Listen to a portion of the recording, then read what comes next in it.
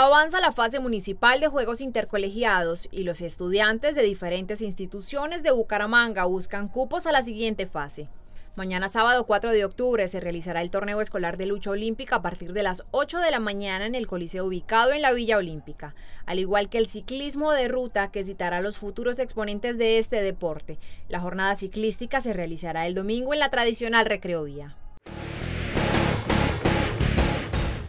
La pista La Cristalina albergará nuevamente las emociones del motocross. La Mesa de los Santos recibirá más de 140 corredores para dar cumplimiento a la primera válida departamental de la disciplina. El circuito de 1.300 metros pondrá a prueba la destreza de los pilotos de Santander y algunos provenientes de Cúcuta, Ocaña, Pereira y Bogotá. 11 tenistas santandereanos viajarán a Barranquilla a participar en el torneo nacional grado 2. Los deportistas buscarán la mayor cantidad de puntos posibles para mejorar el ranking nacional. El torneo iniciará el 5 de octubre y se extenderá hasta el 8 del mismo mes.